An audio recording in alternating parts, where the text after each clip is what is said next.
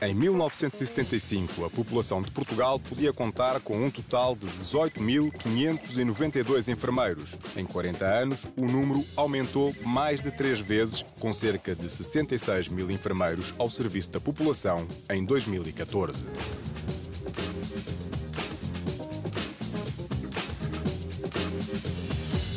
Thank you.